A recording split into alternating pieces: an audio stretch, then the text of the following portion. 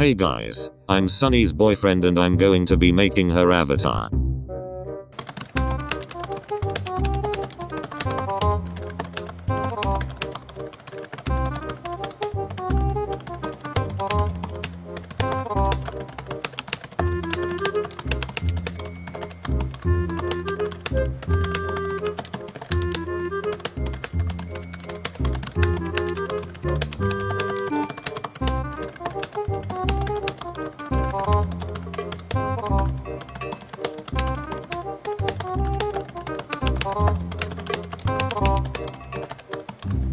Dang, I did a pretty good job.